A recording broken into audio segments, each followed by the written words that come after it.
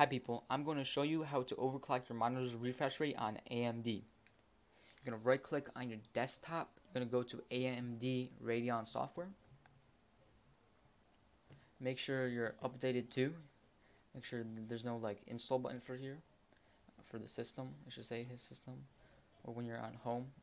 Go to the gaming tab, go to global display, go to custom resolutions and create new custom resolution uh, for the refresh rate, I'm going to go to 70. I can't go past 70 because AMD won't allow me. I'm sure other softwares will let you go past 70. So make sure the refresh rate 70 is the same as G that refresh rate 70 over here. You gotta have to change. You have to change them both, and then you're gonna create a new one. And when you flip the arrow over here, it should say 1920 by 1080 at 70 hertz, the new uh, resolution. So you can exit out of that and you can right click on your desktop. You can go to display settings.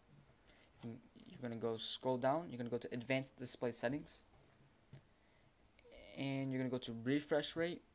And you're going to change your new refresh rate. And you're going to keep changes. And it should be, seven, your monitor should be 70 hertz now and I hope you guys like the video and I would very very appreciate it if you guys subscribe to my channel. Have a good day. Bye.